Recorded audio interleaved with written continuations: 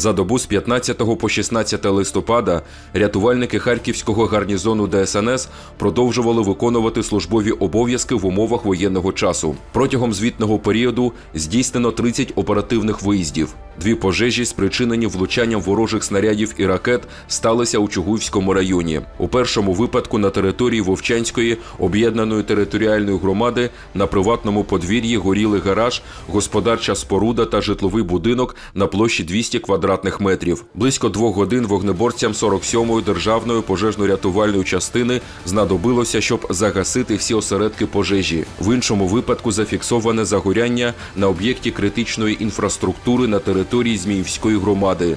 Його оперативно ліквідували бійці 34-ї державної пожежно-рятувальної частини. Також три рази рятувальники виїздили на перевірку на місця влучання ворожих боєприпасів, де пожеж зафіксовано не було. В Основ'янському та Новобаварському районах рятувальники за допомогою пересувних електростанцій забезпечували функціонування об'єктів критичної інфраструктури. У селищах Бабаї та Високий Харківського району трапились пожежі з побутових причин, котрі забрали життя 83-річної жінки та 60-річного чоловіка відповідно. Піротехнічними підрозділами ДСНС протягом доби вилучено та знешкоджено 312 вибухонебезпечних предметів. Мешканцям міст Куп'янська та Ізюма рятувальники доставили 20 тонн питної води.